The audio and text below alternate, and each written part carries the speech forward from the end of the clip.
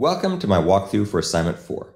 The purpose of this assignment is to deepen your experience using Java's functional programming features and their integration with Java's Reactive Streams API. In particular, in this assignment, you'll develop an app that uses the RxJava implementation of Reactive Streams to obtain, transform, and store images. Like the earlier assignments, the code you write here will have a GUI and will run as an Android app. Please use this GUI along with the supplied unit test discussed below to help test and debug your solution. The following resources may be helpful in completing this assignment. A detailed overview of Java Reactive Streams and a comparison with Java Streams is available here, and a discussion of RxJava coding examples is available here. A tutorial overview of RxJava appears here. I recommend the book Reactive Programming with RxJava to learn more about RxJava support for Java's Reactive Streams API. Naturally, we'll cover all this material in class, which will be available in my YouTube CS253 playlist here. The image crawler app is packaged as a project using the latest version of Android Studio. As is always the case, the app's written in Kotlin and Java and demonstrates lots of Android features. However, for assignment 4, you just have to be aware of several directories. The image crawler's crawler directory, which contains the skeletons you need to fill in, as we'll give an overview shortly. App source test, which is the set of unit tests that exercise the features that we're implementing for this assignment and can be used to evaluate whether you've correctly satisfied the assignment's requirements. And last but not least, the app source Android test Java assignment test directory, which is an Android Studio instrumentation test that runs your app automatically. As you've done in previous assignments, you need to use the provided Android Studio project. And you can run this project by clicking the green Run App button in the Android Studio IDE, and that will prompt you for an Android emulator to run. As always, you have to pick one that's either API 29 or later. And if you haven't created one already, something's gone horribly wrong. But if you need one, click that button and that'll go ahead and make one for you. In this part of the assignment, you'll need to complete an implementation of an image crawler class in the Rx observable crawler file that obtains, transforms, and stores images. This class uses the RxJava framework to perform an image crawl asynchronously, starting from a root URI. Depending on the parameters used to run the test, images from HTML pages reachable from the root URI are either downloaded from a remote web server or read from the local file system. In either case, the results are stored in files. The bulk of the code for the app is provided in the supplied skeletons. In fact, a complete solution using Java 7 features is provided in the sequential loops crawler.java file. You should therefore focus on converting this Java 7 based class to the Rx observable crawler class that uses the Rx Java framework. As has been the case in the last several assignments, your solution should use no loops and no unnecessary conditional statements at all. And instead, you should use RxJava's classes and methods. Skeleton code for this assignment is available here in my GitHub account. Now that you've set up your GitLab account, you can pull this skeleton code into your repository, read it carefully, and complete the to-do markers. The unit tests in the image crawler source test folder are provided to increase our and your confidence that your implementation is working as we expect. As usual, of course, testing only demonstrates the presence of bugs, but never their absence, so don't rely solely on the unit tests to detect problems in your code. Moreover, you'll notice that we keep improving the unit tests, so things that may have worked previously in earlier assignments will break when run with the unit, new unit tests. So make sure you fix any problems that are shown by the unit test before you submit your code for review and final grading. Assignment 4 is more complicated than the previous assignments. In particular, the asynchronous nature of RxJava and reactive streams may take some time to get accustomed to. So please start the assignment soon and ask questions in class, office hours, and on the discussion forum.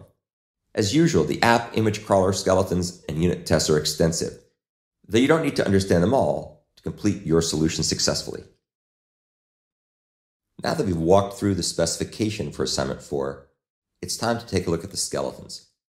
We'll focus on the skeleton file rxobservablecrawler.java. This file contains a class that uses RxJava observables to perform a concurrent image crawl starting from a root URI. Images from HTML pages reachable from the root URI are downloaded from a remote web server or from the local file system, transformed, and then ultimately stored in files that can be displayed to the user. Let's start by taking a look at the perform crawl method.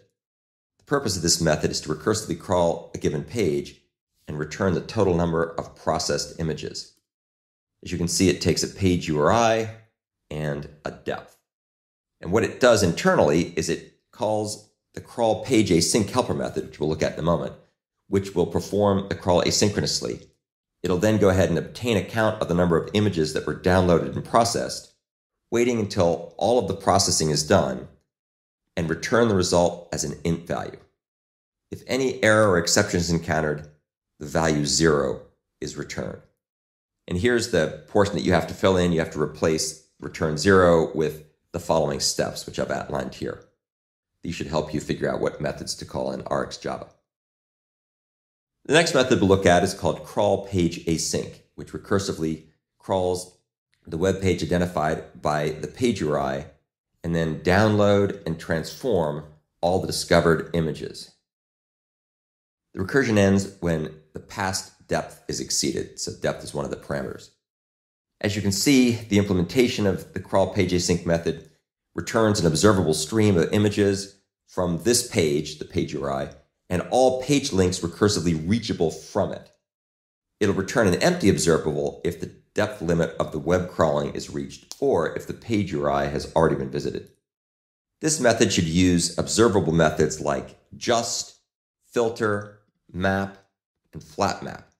And this latter method should call the images on page async and page links helper method, which we'll see when we take a little bit look down below. Then here's the return null. You have obviously have to replace null with the actual code, and this kind of outlines again the code to, to use here. The next method is the images on page async and page links method. And you can see that this returns all images on the page and its linked pages. And it's taken, takes a page as a parameter and a depth parameter. And what you'll do here is you'll return an observable stream consisting of all images on this page and any images linked on it. And this method should call images on page async links and images on page async.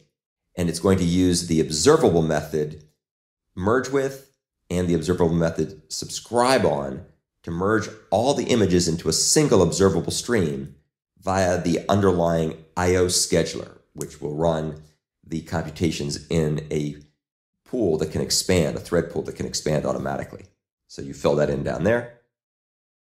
Here's the images on page async links method, method.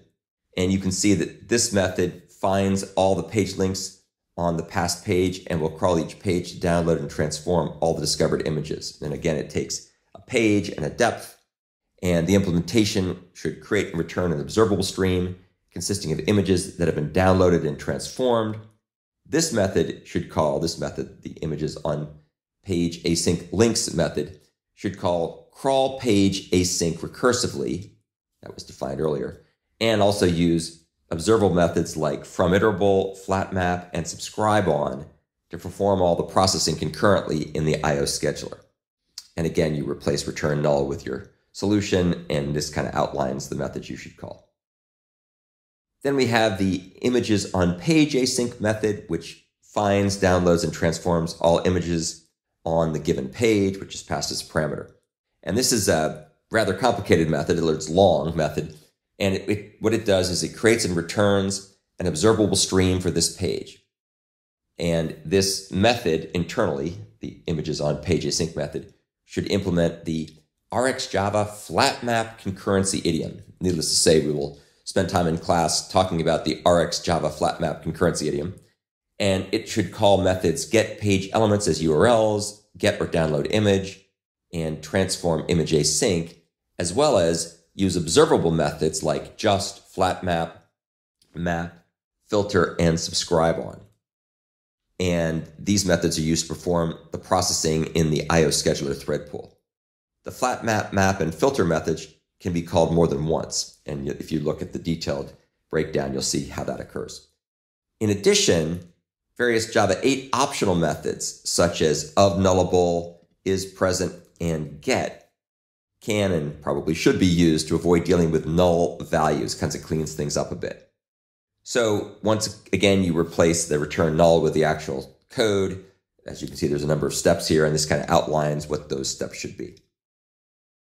And then this method here, which I think is the final method, is transform image async. It's going to apply the current set of crawler transforms on the image passed as a parameter and it will return an observable stream of all successfully transformed images. And as you can see, the implementation of transform image async will return an observable stream of transformed images. And this method should call the create new cache item and apply transform methods, as well as use a bunch of RxJava observable methods like from iterable, filter, and map. And it turns out that filter and map can and probably should be called more than once. In addition, Java 8 optional methods such as of nullable, is present, and get can and probably should be used to avoid dealing with null values. So again, you return null and replace return null, of course, with the code that applies the basic steps that are outlined here. Now, as you can see, this, this is actually uh, a bit more tricky than the parallel streams and completable futures implementation. And one of the reasons why it's a bit more tricky is that there's just many more interesting operations that are part of RX Java. And in fact, you can think about parallel streams and completable futures as kind of providing different pieces of what RX Java merges together within the common reactive streams API. So it'll take a little longer probably to get this all right. And that's why you see more comments in here to kind of help walk you through the different steps. As always, the unit tests can be great help in helping to pinpoint what you're doing and what may be going wrong. Now that we've walked through the specification and the skeletons, it's time to go ahead and run the unit tests. As usual, we go ahead and find the tests that are in the image crawler source test folder, and we go ahead and execute those tests, and that will go ahead and start everything running. First, it'll build everything, takes a little while to build it, and it takes a while to run. As you can see, we now have a very large number of tests. I think we have something in the order of about 150 tests. And these tests keep getting better and better every time we put a new project out. So keep an eye out for things that may have passed previously but are no longer working. Obviously, they should all work. And you can see that it'll run the completable future crawler tests, the parallel streams crawler tests for both parallel streams crawler 1 and 2, and then most recently, the RX observable crawler tests, which are the ones for this assignment. And those tests should be pretty good at giving you some tips on how to do the implementation in a most efficient way. So keep an eye out and make sure you ask questions if you have any problems. And then there's also lots of unit tests that go back and rerun other things that we've done in the past, quite extensive as you can see. And again, we keep improving those uh, older tests. So don't be surprised if some things that didn't complain in previous submissions complain now and please go ahead and fix them. Otherwise, you'll lose a fairly substantial amount of points because the whole point of this is to keep improving your assignments with every new turn of the crank. So that wraps up the summary of this particular assignment. As I mentioned before, it's a bit more complicated than the previous ones, so please start early and make sure you ask questions if you have any problems at all.